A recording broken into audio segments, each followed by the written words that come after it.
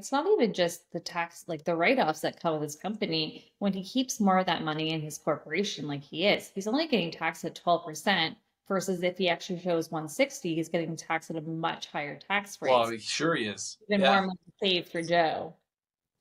That is so. You know, I've never really seen it postulated like that before. I really like that because it is. It's it's it's spot on. Yeah, you're gonna spend if you match up an A lender to a B lender head to head. Yeah, you're paying more for the A lender, but for the self-employed individual to get that A uh, that A uh, lender mortgage, it's going to cost them more money to get there than what they save on taxes.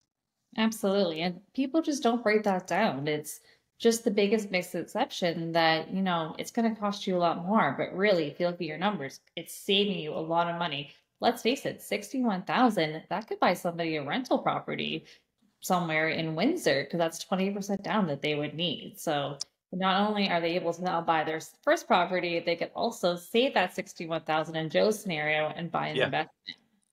Eh, earlier in the slide, you were talking about some of the other potential types of people, like uh, people going through bankruptcy and that sort of thing.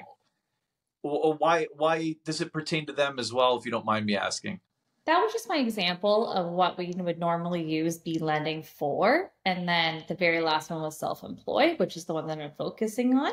But B lending, when it comes to anyone that has bad credit, they'll look at different scenarios and they're because they are charging that fee and having that slightly higher rate, their risk appetite is a little bit on the higher side. So that makes sense. That's much money, but that was just examples of other people who look at B lending, which is where I think B lending unfortunately got their bad name from because everybody looks at my top three examples not my very last one that actually saves you the money for self employed. Well, that's it. You're right.